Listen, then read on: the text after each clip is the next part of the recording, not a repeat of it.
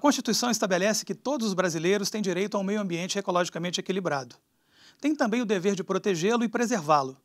A defesa do meio ambiente é igualmente uma obrigação do Estado e de suas instituições, como o Judiciário. Nos últimos anos, temos assistido a um aumento expressivo dos conflitos nessa área, muitos dos quais frutos da exploração predatória dos recursos naturais do país. Uma parte expressiva desses litígios chega ao Judiciário, que tem a difícil tarefa de decidir sobre interesses conflitantes. De um lado, o direito a um ambiente saudável, do outro, o desenvolvimento econômico da nação.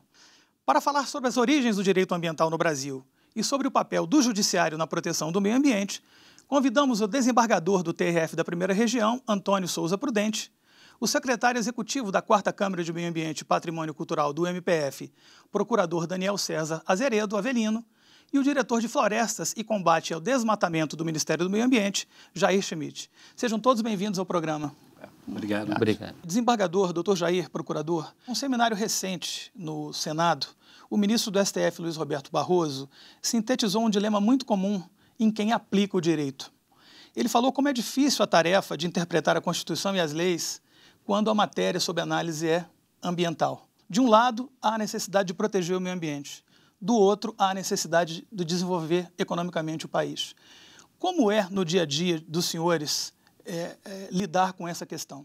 Esta questão já me parece devidamente enfrentada e com maestria pelo eminente ministro Celso de Mello, que também é um extraordinário constitucionalista, e no Linde Case, já firmado na Suprema Corte, Sua Excelência disse o seguinte: o meio ambiente, como direito humano e fundamental, não se subordina aos interesses meramente econômicos das entidades privadas ou do próprio Estado. O que o, ministro Celso de Mello, em resumo, quis dizer é que a Constituição da República Federativa do Brasil em vigor, no artigo 170, ao tratar da ordem econômica, social e financeira do país, ela já estabelece não é, uma diretriz e marcos regulatórios desta ordem econômica e social. Dentre eles, a defesa e o respeito ao meio ambiente equilibrado. Não há incompatibilidade entre desenvolvimento nacional, que é fundamento da República Federativa do Brasil, e o respeito ao meio ambiente, que é um direito fundamental e difuso. Procurador, como é que o Ministério Público vê esse dilema e como é esse dilema no dia a dia de vocês profissionais do Ministério Público? Eu destacaria muito o que o desembargador Souza Prudente colocou na, na fase final da sua fala, a questão de que não há incompatibilidade entre crescimento econômico e proteção ao meio ambiente, né? Posso dar um exemplo concreto? Vamos pensar então em energia elétrica, né? Então o país precisa, isso foi muito utilizado como argumento, inclusive nas ações judiciais, para que Belo Monte fosse construído, de que o país sem Belo Monte, sem outras hidrelétricas, não teria energia suficiente para o crescimento econômico. É, e o que nós vimos naquela época é que a discussão era totalmente frágil. Por exemplo, nós temos hoje em países europeus políticas públicas em que você incentiva os consumidores a trocarem os seus aparelhos em casa. Então, você tem uma geladeira antiga, é, é, você dá um, um, certo subsídio para a população de baixa renda trocar isso, e, e, e a demanda do país para energia diminui consideravelmente, inclusive no patamar maior ao que é possível construir em Belo Monte.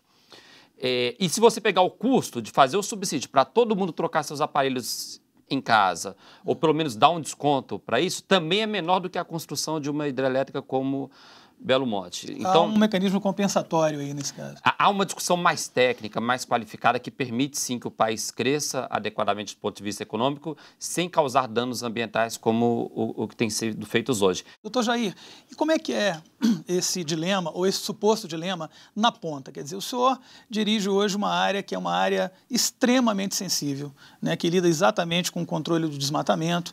Qual a visão que o senhor tem Perfeito. sobre isso? Desenvolvimento econômico e meio ambiente são polarizações que na história é, têm sido muito discutidas, é, acentuadas, é, mas acho que até tomando como exemplo as duas fases do desembargador, procurador Daniel também, é, hoje, até para sobre a lógica legal, existe plenamente condições de coexistir desenvolvimento econômico e meio ambiente. Meio até ambiente. porque, é, é, seja um ou outro, eles são interdependentes. Né? eles necessitam uma uhum. interação é muito ativa. E aí, quando nós olhamos, né, até puxando um, recorte, uma situação prática, quando a gente olha desmatamento na Amazônia, que é a agenda da, da discussão e do debate, né? É, o próprio combate, o controle do desmatamento legal. Só que a própria legislação brasileira, ela estabelece bases legais que permitam que um cidadão que ocupe legalmente uma área, né, que tem um domínio fundiário legal, que ele possa, em alguma medida, fazer uso sustentável da floresta, com a exploração da madeira, é, de maneira sustentável, entre outros preceitos, e também naquelas situações que vai se implantar algum tipo de atividade, é, que vai ter, ter, que ter a necessidade de suprimir a vegetação, ele também tem o direito de exercer isso. Então, o que eu vejo do ponto de vista prático, o grande desafio é, não é, na verdade, uma base legal ou a coexistência entre esses dois elementos, mas, sobretudo, é fazer, pelas suas instâncias, pelas entidades do Estado brasileiro, fazer com que essa legislação seja cumprida, esse direito e os deveres também sejam exercidos. É perfeito. Nós temos no Brasil uma política pública energética que ainda não saiu do papel. Há uma legislação federal que estabelece diretrizes para exploração de matrizes energéticas limpas. E nós temos no Brasil continental não é, possibilidades ainda inexploradas de dar eficácia plena a esta política energética, como disse, só está realmente é, delineada na letra da lei. Imagine que nós temos, um país como o nosso, quase 9 mil quilômetros quadrados de zona costeira, onde você pode explorar a energia solar, a energia dos ventos, a eólica, e também a chamada hidrelétrica sem barreira, o que já é uma realidade em países europeus, onde só com fluxo e refluxo né, do maremoto, você tem realmente uma fonte de energia. Estão falando é, em energia renovável. Renovável, perfeito, sem derrubar a floresta. Não é possível falar, como o Brasil tem falado, com esse discurso enganador. O Brasil pratica a política energética mais limpa do planeta. Não é verdade. Não é concebível você é, praticar uma política energética das mega ou faraônicas hidrelétricas da Amazônia, né? derrubando a floresta, agredindo a biodiversidade do maior bioma do planeta, como é o bioma amazônico, e possibilitando situações favoráveis, como aqui se encontra em Belo Monte, que Belo Monte hoje é um grande esqueleto. Belo Monte sequer chegou a construir as linhas de transmissão de energia, a despeito dos mais de 32 bilhões que o BNDES investiu em Belo Monte. Toda a obra de Belo Monte foi uma agressão abusiva à legislação ambiental do Brasil, ao texto da Constituição do Brasil e, sobretudo, à Convenção Internacional de que o Brasil é signatário. Desembargador, vamos continuar falando sobre essa questão do desrespeito à legislação ambiental no próximo bloco. Nós vamos para um rápido intervalo e voltamos em instantes com Justiça Viva.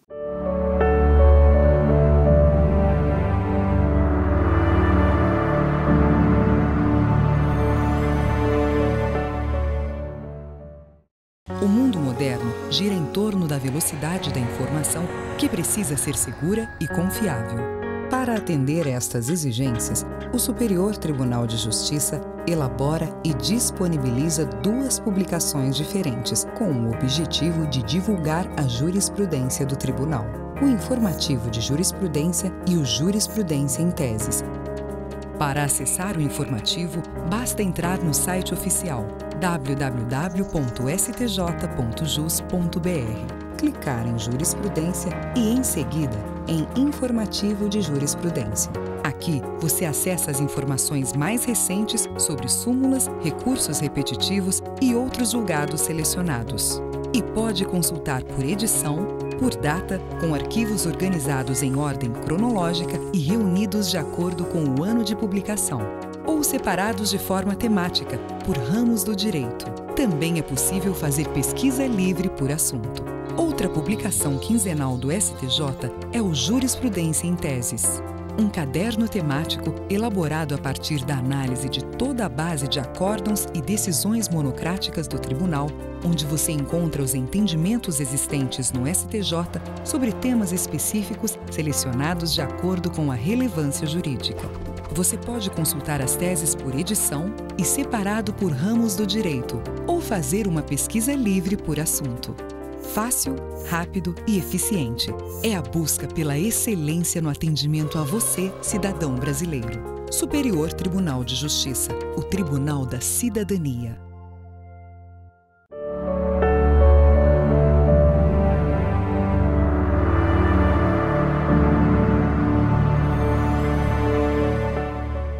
Estamos de volta com Justiça Viva. No programa de hoje, debatemos as origens do direito ambiental no Brasil e o papel do judiciário na proteção do meio ambiente. Desembargador, nós estávamos falando sobre a questão do desrespeito à legislação ambiental. Recentemente, o ministro do Superior Tribunal de Justiça, o Herman Benjamin, que aliás é um nome muito respeitado na área ambiental, eh, vem chamando a atenção para a necessidade de aplicação do chamado princípio da, proibi da proibição de retrocesso. Para que o nosso telespectador saiba um pouco do que se trata isso, esse princípio consiste em impedir que o legislativo dificulte ou inviabilize a concretização de direitos relativos ao meio ambiente, que já existem, sem as chamadas contrapartidas compensatórias. Por exemplo, se há uma legislação que vai diminuir o tamanho um, da área de um parque, de uma reserva protegida, tem que haver algum mecanismo compensatório. Qual o risco que a não aplicação desse princípio pode é, gerar para a proteção do meio ambiente, na, na avaliação do senhor e dos senhores?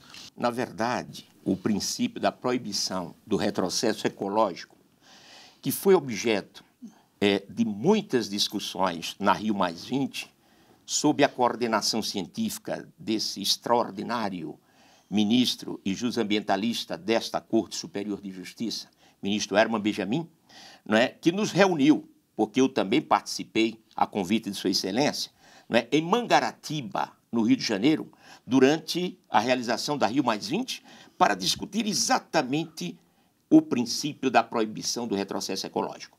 Disto resultou uma publicação do Senado Federal. E o princípio da proibição do retrocesso ecológico, ele não obriga apenas o poder legislativo, no Verdade. sentido de não legislar uhum. em termos de retroação, para agredir as conquistas né, legislativas. Tem aplicação ampla, né, desembargador? Exatamente. É. Ele vincula todos os segmentos do poder. Inclusive a administração pública. É. Inclusive o poder judiciário. É verdade. Porque o juiz que decide contra o que está posto em termos de proteção ambiental, o juiz que decide contra o sistema de biossegurança ambiental, ele agride o princípio da proibição do retrocesso ecológico. Tá certo? Porque o que a Constituição do Brasil consagrou no, na norma matriz do artigo 225, nessas letras, foram o seguinte: ela impôs ao poder público e a toda a coletividade o dever de defender e preservar o meio ambiente ecologicamente equilibrado, como bem de uso comum de todos e essencial à sadia qualidade de vida de todos.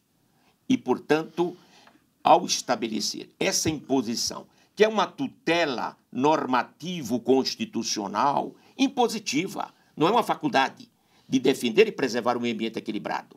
Portanto, aqui nós já temos o princípio da proibição do retrocesso ecológico. Isso que o senhor está falando, o ministro Herman Benjamin, ele fez um comentário muito interessante que ele diz assim, os juízes têm um papel muito importante nisso, ou seja, na aplicação desse princípio, porque no final das contas são eles os árbitros do bom e do mau comportamento das pessoas e das instituições. É verdade, né? Perfeitamente. Perfeitamente. O Ministério Público, como é que vê essa questão? Ele é um dos, dos princípios mais importantes para a nossa estabilidade, né, para a nossa segurança. Hum. É, veja que, o, que o, o, nosso poder legislativo, e é assim, não há nenhum ponto equivocado nisso, em qualquer democracia do mundo, é, ele oscila, ele varia, né? ele defende, depende muito dos interesses que estão em jogo. Em jogo. Né? Então, o que, que a gente quer proteger? Em determinado momento da vida histórica do país, você pode ter um parlamento inclinado a defender interesses de, de, de setores econômicos que querem, de alguma maneira, flexibilizar a proteção ao meio ambiente. Né? Nós sabemos que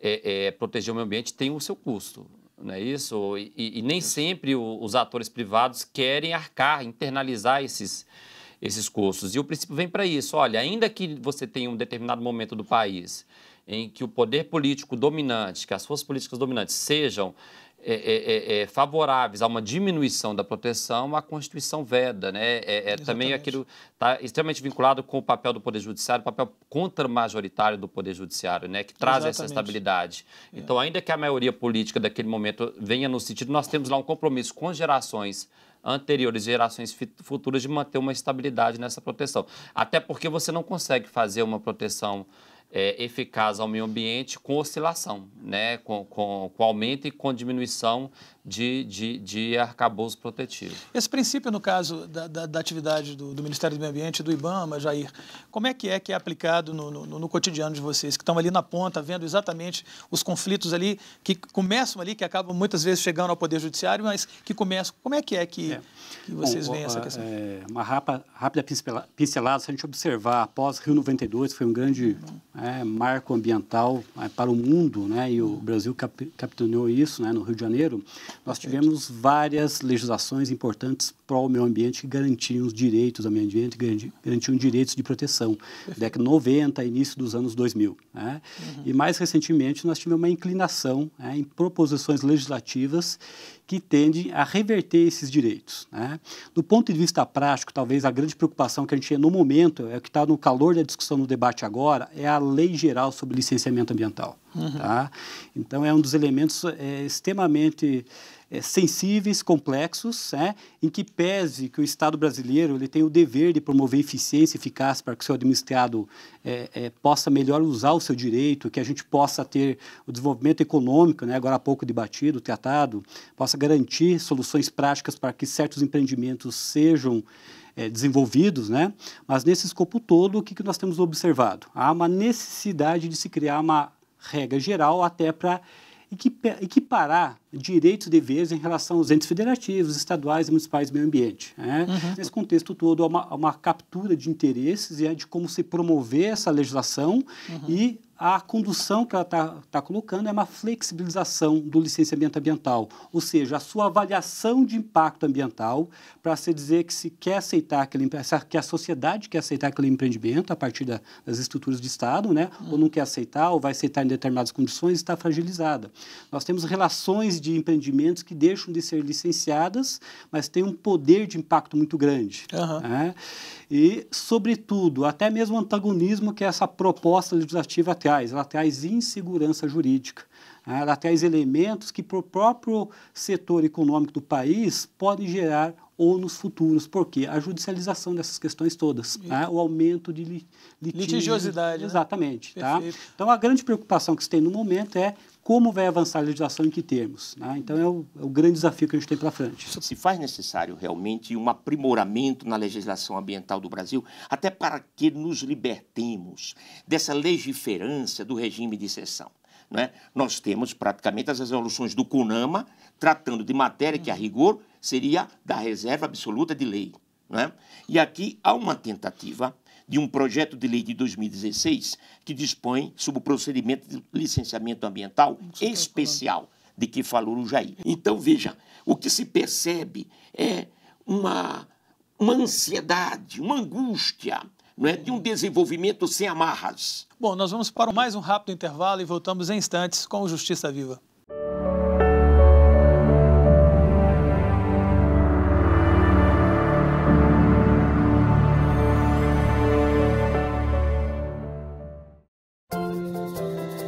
Informação precisa, segura, confiável e direto da fonte.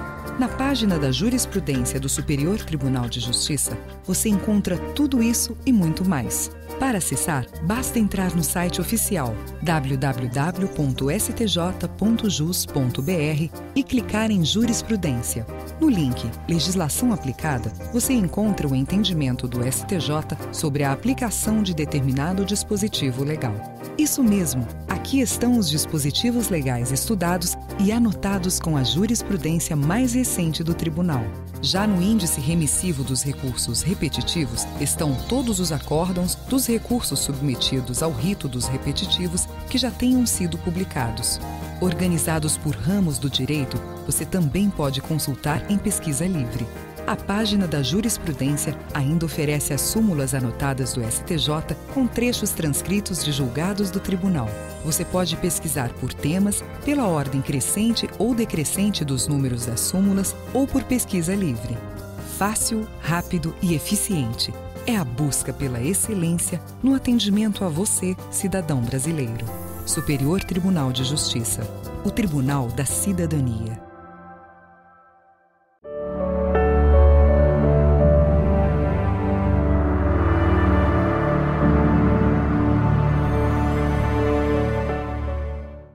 Estamos de volta com o terceiro e último bloco do Justiça Viva. No programa de hoje, debatemos as origens do direito ambiental no Brasil e o papel do judiciário na proteção do meio ambiente.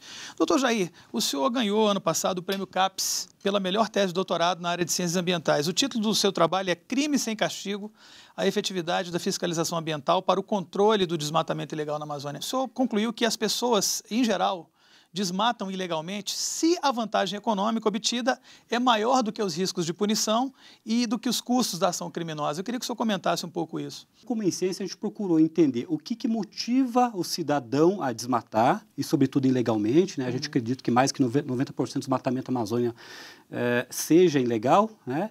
e se esse esforço coercitivo está é, pedindo, né, tendo visto até efetivo, a, né? exatamente, tendo visto até a redução significativa do desmatamento a partir de 2008 até 2014. Né? Procuramos transformar isso num modelo né, matemático até para medir. Né? A percepção humana, quando a gente fala em números, ela é mais, mais sensível em alguns casos, do ponto de vista quantitativo. Né? Uhum. Então, nós analisamos a, a, o lucro obtido com o desmatamento, seja atividade econômica, a venda da madeira nessa área, mas também quando, é, é, nós analisamos o processo sanciador administrativo do órgão federal, tá? Uhum. para identificar, sim, nas suas várias etapas, desde a identificação das infrações, é, do início ali das autuações, das suas operações de fiscalização, do julgamento, das sanções propostas e, sobretudo, aquilo que se manteve de autuação e, por último, daquilo que se conseguiu executar dessas sanções, né, a partir dessa lógica matemática, é, se isso uh, uh, consegue se contrapor à vantagem econômica.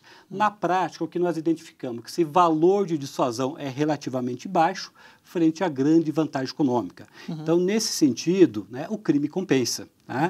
E talvez o principal déficit do processo coercitivo, do processo sancionador administrativo, uhum. e aí o que ensejou, inclusive, o título, né, crime sem castigo, talvez seja a baixa capacidade, a baixa eficiência de promover a punição de fato, de fazer com que o infrator cumpra as suas sanções, seja a pecuniária, mas as diversas outras envolvidas desde o embargo da atividade, a apreensão de bens e assim por diante.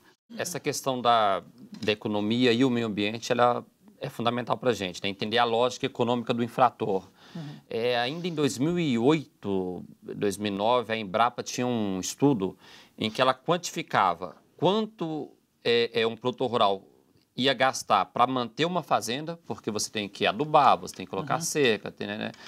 É, e quanto ele gastaria se, em vez de ele faz, fizer a manutenção daquela fazenda que ele ocupa, se ele avançasse e desmatasse uma nova área na Amazônia. Uhum.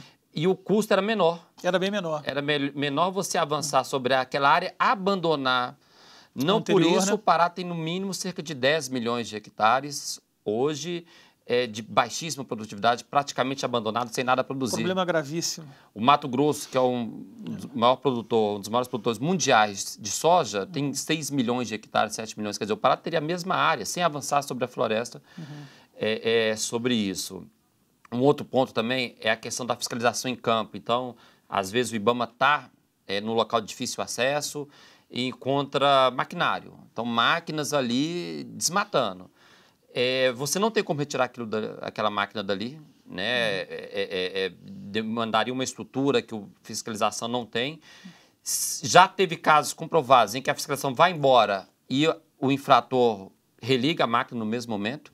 Inclusive, para evitar que o IBAMA retire, geralmente quando eles percebem a fiscalização chegando, eles retiram algum equipamento da máquina que ela não vai funcionar, o IBAMA evitar, não tem né? peça né? para reposição, não Exato. tem mecânico. Uhum que, que, que resta? Destruir o maquinário no local. É a única forma de você ter uma lesão econômica àquele infrator no meio de uma fiscalização é, ambiental. E, por fim, a questão da solidariedade. Hoje, uma grande empresa em São Paulo, uma rede de supermercado aqui em Brasília, do Rio de Janeiro, que se abastece de produtos de origem agrícola, ela tem que ser responsabilizada pelos seus produtores. Gostaria que o rememorassem brevemente como foi esse processo de estruturação das entidades do Estado para lidar com essas questões, com esses conflitos ambientais. O Poder Judiciário, quando recebe as demandas, é porque a precaução, na maioria dos casos, já não foi praticada pelo Executivo. É porque a ponta falhou. É, exatamente. Então, nós somos provocados para praticar prevenção. E aí onde está exatamente o, o, o cenário do, da maior tragédia ambiental, eu diria, do século XXI, que é a tragédia de Mariana. É inconcebível que uma mineradora daquele porte, onde ali atuam duas multinacionais, possam obter licenças ambientais é, no quadro de tamanha fragilidade. Tá certo? Então, aí há muito que se investigar em Mariana. Falhou a precaução. E a prevenção está sendo devidamente praticada? Eu acredito que não. No caso do Ministério Público, como é que o senhor vê essa questão da estruturação da, da instituição para lidar com, com o areamento? É, antes, só fazendo uma ligação que o desembargador Souza Prudente trouxe, é, antes no Brasil, a gente sempre tinha aquela crítica de que o Brasil, depois da tragédia, tomava alguma providência. Né? Uhum, então, exato. realmente, depois de perdermos vidas humanas, a maior tragédia ambiental, nós tomaríamos providências em relação à Mariana. Hoje nem isso, né? Porque depois da tragédia, o que nós estamos fazendo? É, é, é, fragilizando, discutindo como piorar o licenciamento. Até outro dia eu vi que esse projeto de lei que, que foi colocado aqui é, é, fábrica de Marianas, né? Então vamos criar no Brasil novas fábricas de desastres ambientais, como os que estão sendo colocados. Mas o Ministério Público Federal tem a quarta Câmara que desde a Constituição de 1988 e depois com a Lei Complementar 93 que trouxe a previsão legal das câmaras foi estabelecida, coordena a atividade dos membros em, em todo o país. Nós temos investido muito na questão de treinamento, eventos, escola superior também, é, hoje nós temos no curso de, de ingresso de procuradores módulos específicos sobre essa questão ambiental, conectada com questões agrárias, questões sociais, e isso tem ajudado muito no aperfeiçoamento da nossa atuação. Perfeito. No caso do Ministério do Meio Ambiente. Puxando um pouquinho, talvez, dessa discussão da estrutura, isso que o desembargador colocou, acho que o Daniel também colocou muito bem, ah, o que talvez nós temos hoje que remete muito à gestão ambiental no país como um todo, nós temos um grande marco em 2011, que é a Lei Complementar 140, que, entre outras coisas, a disciplina a descentralização aí de competência no meio ambiente aos órgãos estaduais e municipais do meio ambiente. Tá? Eu acho que talvez um grande desafio que a gente tem pela frente com o país é promover, fazer que toda essa estrutura né, do Sistema Nacional do Meio Ambiente ele consiga, de fato, né, em bom nível, operar e fazer com que as leis de proteção ao meio ambiente sejam cumpridas. Né? E aí, por trás disso, tem questões de déficit de estrutura, de pessoal e assim por diante. Né? É, hoje, eu acho que talvez uma das grandes preocupações que a gente, a gente tem, e eu coloco isso à mesa, às vezes, a discussão, né, é essa lógica de como trabalhar o federalismo sob o aspecto ambiental. De como as estruturas de, Estado têm que estar juntas, trabalhando juntas em prol do meio ambiente. O tema é atual e importante, mas infelizmente o nosso tempo acabou. Nós agradecemos a presença do desembargador do TRF da Primeira Região, Antônio de Souza Prudente, do secretário executivo da Quarta Câmara de Meio Ambiente e Patrimônio Cultural do MPF, procurador Daniel César Azeredo Avelino, e do diretor de Florestas e de Combate ao Desmatamento do Ministério do Meio Ambiente, Jair Schmidt. Você também pode assistir a essa e a outras edições do Justiça Viva no canal do STJ no YouTube. O endereço está aí na tela. Até o próximo programa. Tchau!